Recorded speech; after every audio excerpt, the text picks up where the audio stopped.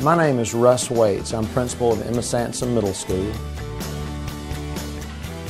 We serve students in grades 6 through 8 and are one of three middle schools in the Gadsden City School System. We average approximately 450 students per year.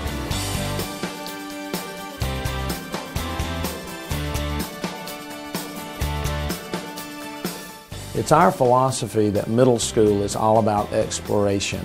We try to create as many opportunities as possible for students to be exposed to uh, different things so they can decide what it is that they love before they actually have to choose the path that they're going to take.